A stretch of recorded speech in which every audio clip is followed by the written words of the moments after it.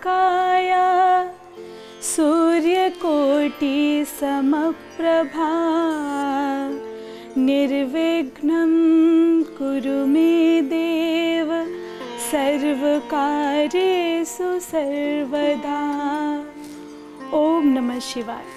हम हैं हर्षिता और आप सबके बहुत बहुत स्वागत करते हैं सावन विशेष कार्यक्रम बोलबम में। सावन के शुरुआत होके वाला बा, सावन के महीना। बारहों महीना में एगो अपन विशेष महत्व रखेला। सावन में चारों ओर हरियाली छाई रहेला।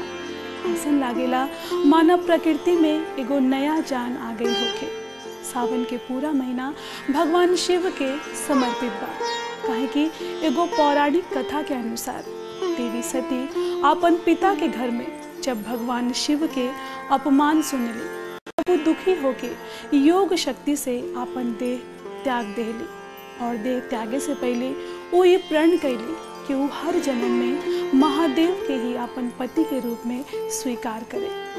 अपन दूसर जन्म में वो हिमालय के यहाँ पार्वती के रूप में जन्म ले ली और अपन कठोर आराधना एवं व्रत से एक बार फिर से वो महादेव के अपन पति बनावे में सफल भई और महीना रहे सावन के।